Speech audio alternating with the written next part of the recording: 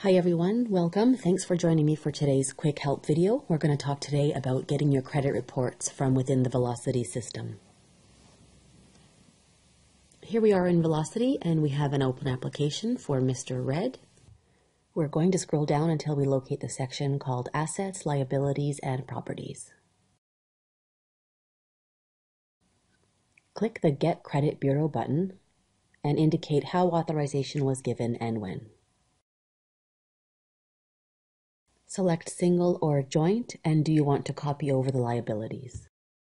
Click the Request Bureau button and confirm at the top. When you have a successful hit, you'll see the message on the top right hand side. You can see here that we got the credit report, the beacon score if it's available, and down below any liabilities that have been scraped over. Click the Preview button and look for the PDF opened up down below.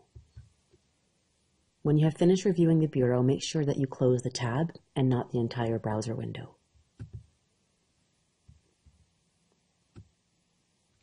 You can add liabilities manually, delete liabilities that no longer apply, or override any liabilities as required. Well, that's it. Thanks for watching. If you have any other questions, please do not hesitate to be in touch with us. We hope you have a great day.